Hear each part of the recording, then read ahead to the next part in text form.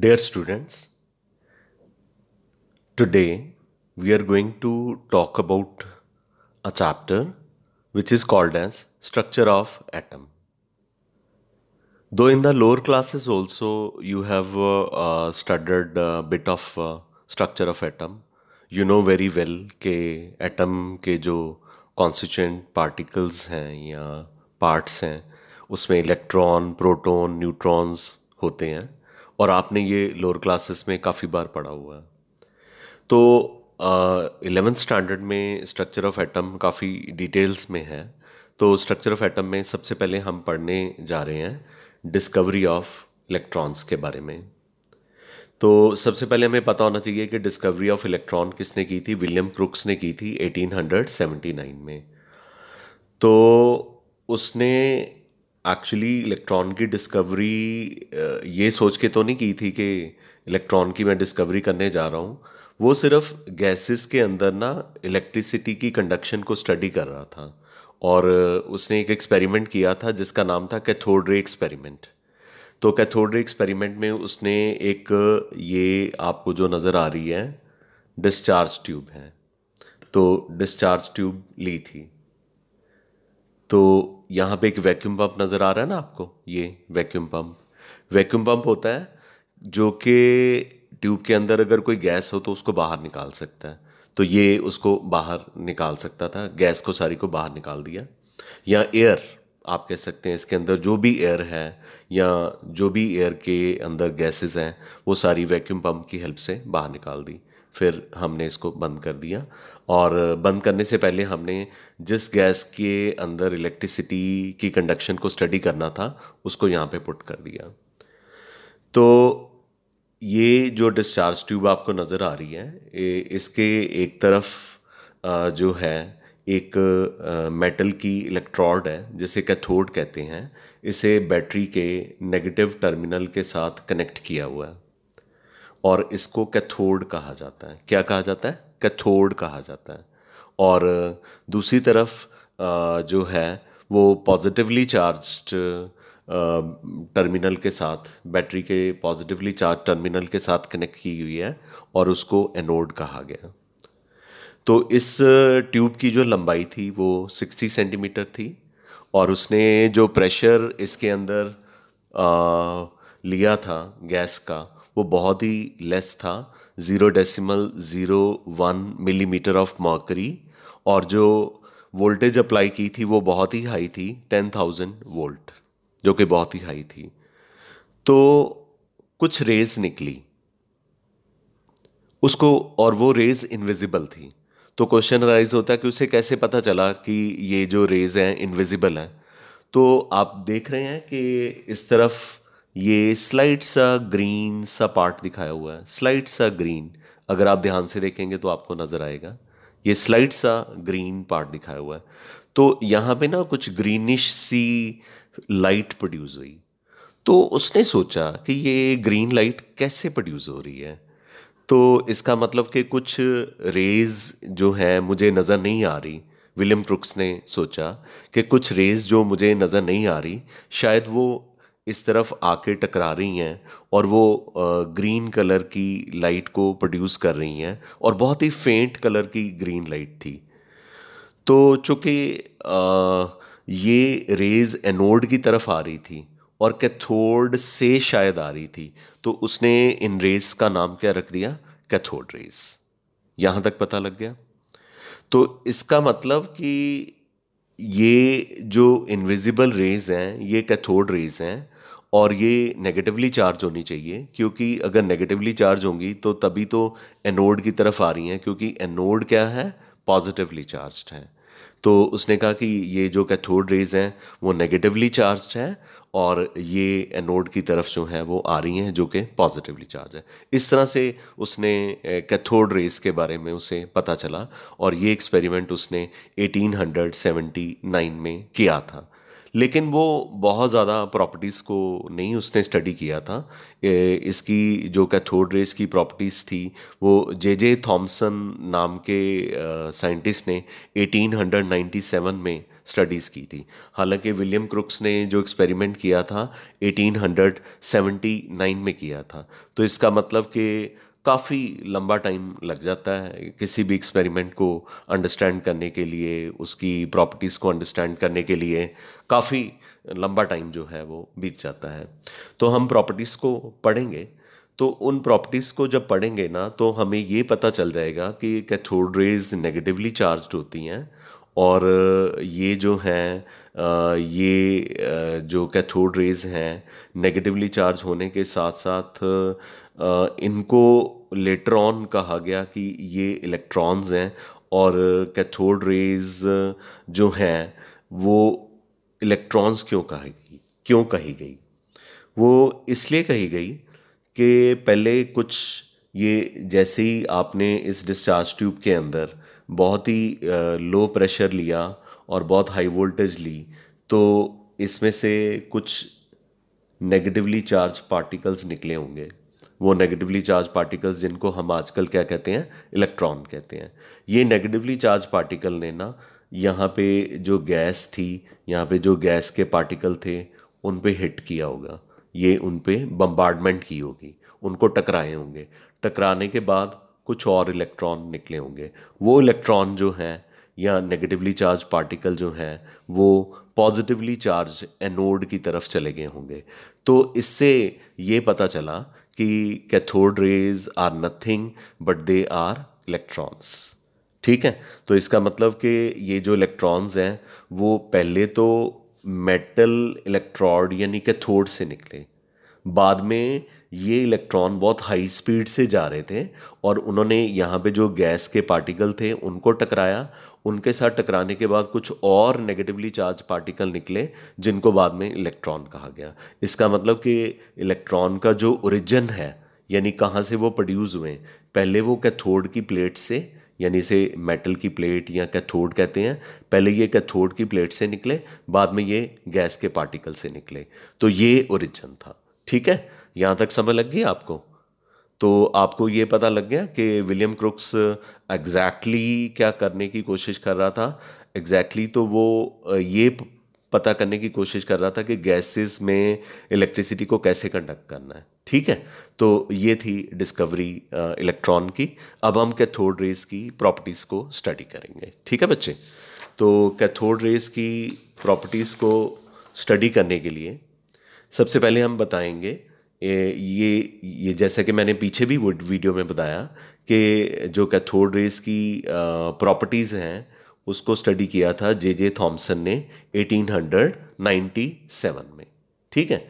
और उसने ये पता करा कि ये स्ट्रेट लाइन में ट्रेवल करती हैं क्योंकि आ, इनके रास्ते में अगर कोई भी चीज़ आ जाती थी तो ये उनकी शेडो प्रोड्यूस करते थे। तो अब आप सोच रहे होंगे कि सर ऐसे ही बताई जा रहे हैं कि हमें कैसे पता कि शेडो प्रोड्यूस करते थे? जैसे देखिए, ये डिस्चार्ज ट्यूब है, ठीक है? तो ये कैथोड है। तो यहाँ पे सपोज़ आपके पास कोई इस तरह की चीज़ है, कोई भी, ठीक है? तो जब कैथोड रेज इनके साथ टकराई तो इनकी शेडो जो है, वो प्रोड्यूस हुई। चूँकि इनकी शेडो प्रोड्यूस हुई तो शेडो तभी प्रोड्यूस हो सकती है कि जब ये रेज जो हैं स्ट्रेट लाइन में जाएँ। तो इससे ये पता चलता है कि कैथोड रेज जो हैं वो किसमें ट्रैवल करती हैं? स्ट्रेट लाइन में ट्रैवल करती हैं। और कोई भी सॉलिड ऑब्जेक्ट इनके रास्ते में आ जाता है तो ये उसकी इमेज जो है वो प्रोड्यूस करती हैं, जो इनके रास्ते में, इनके पाथ में आ जाएगा। ठीक है? तो पहली property cathode rays travel in straight line and they produces sharp shadow of solid object placed in their path ठीक है? तो दूसरी प्रॉपर्टी है कि सपोज़ करो कि ये एक व्हील है, ठीक है? तो कैथोड रेज जा रही हैं, वो व्हील को ना रोटेट ही कर देती हैं। ये बहुत हल्का सा व्हील है और इस व्हील को माइका व्हील कहते हैं तो माइका व्हील जब उसने रास्ते में रखा कैथोड रेस के तो ये व्हील जो है वो रोटेट करने लग पड़ा। तो इससे हमें ये अंडरस्टैंड होता है कि इनके अंदर कोई फोर्स है। किन के अंदर? कैथोड रेस के अंदर। तो इसलिए कहा गया कि कैथोड रेस जो हैं, वो किसकी बनी हुई हैं? मटेरियल पार्टिकल्स की बनी हुई हैं। कैथोड रेस किसकी बनी हुई हैं? मटेरियल पार्टिकल्स की बनी हुई हैं, क्योंकि उन्होंने माइका व्हील को क्या कर दिया? रोटेट कर दिया। ठीक है? ये इसकी सेकेंड प्रॉपर्टी है। तो थर्ड प्रॉपर्टी में हमने बताना है कि कैथोड रेस जो हैं, ये पॉजिटिव इलेक्ट्रिक फ़ील्ड की तरफ़ मुड़ जाती हैं। तो इसका मतलब कि कैथोड रेस के ऊपर कौन सा चार्ज है? नेगेटिव चार्ज है। कैसे पता चला कि ये पॉजिटिव फ़ील्ड की तरफ़ मुड़ जाती है? सपोज़ कीजिए, ये एक्सपेरिमेंट है दोबारा से। यहाँ पे हमने इलेक्ट्रिक पोल पॉजिटिव प्रोड्यूस मतलब क्रिएट कर दिया। यहाँ पे नेगेटिव इलेक्ट्रिक फ़ील्ड प्रोड्यूस कर दी। तो ये एक्सपेरिमेंट हमने दोबारा से रिपीट किया। ये यहाँ से कैथोड रेज निकलेंगी। यहाँ पे एनोड है। तो ये रेज यहाँ पे निकल के इस तरफ़ टर्न कर गई। इस तरफ़ टर्न कर गई डिफ्लेक्ट कर गई ना। तो किसकी तरफ़ डिफ्लेक्ट कर रही हैं? पॉजिटिव चार्ज की तरफ़। अगर पॉजिटिव चार्ज की तरफ़ डिफ्लेक्ट कर रही हैं तो डेफिनेटली कैथोड रेज जो हैं, वो किसकी बनी हुई हैं? नेगेटिव चार्ज की बनी हुई हैं। यानी उनके ऊपर कौन सा चार्ज है? Negative charge. ऐसे ही इनके रास्ते में अगर मैग्नेटिक फ़ील्ड रखेंगे तो मैग्नेटिक फ़ील्ड में भी ये इस तरह से डिफ्लेक्ट करेंगी, यानी कि मुड़ जाएँगी, जिससे ये साबित होता है, जिससे ये क्लियर होता है कि कैथोड रेज जो है, वो किसकी बनी हुई हैं? नेगेटिव चार्ज की बनी हुई हैं। ठीक है?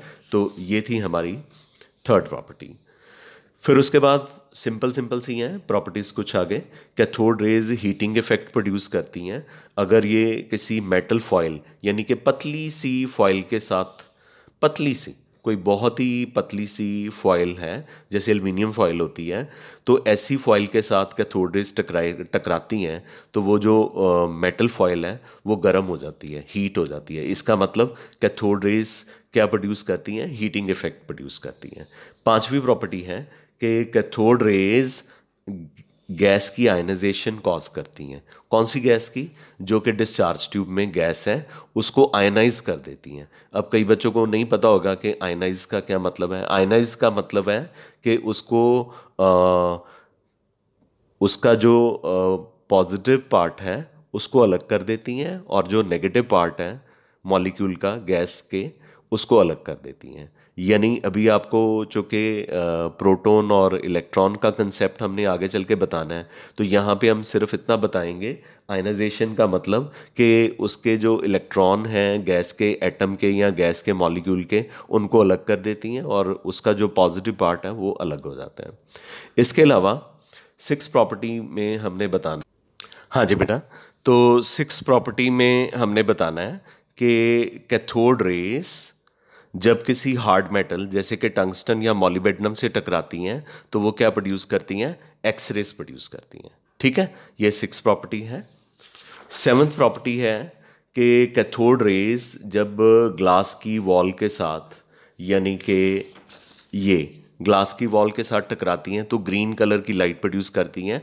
या अगर आप इस ग्लास वॉल को जिंक सल्फाइड के साथ कोट कर दें, तब भी ये ग्रीन कलर को प्रोड्यूस करेगी। ठीक है? ये थी इसकी सेवन्थ प्रॉपर्टी।